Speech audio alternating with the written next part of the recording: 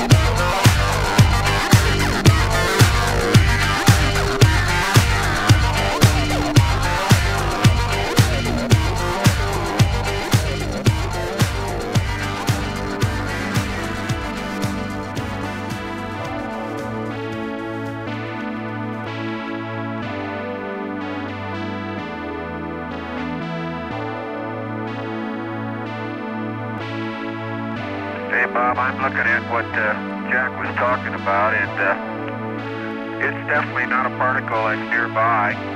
It is a uh, bright object, and it's uh, obviously rotating because it's flashing. It's uh, way out in the distance, apparently rotating in a very rhythmic fashion because the uh, flashes come around almost on time.